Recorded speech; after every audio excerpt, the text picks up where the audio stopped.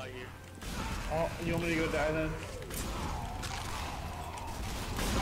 Hey, let them have the intelligence.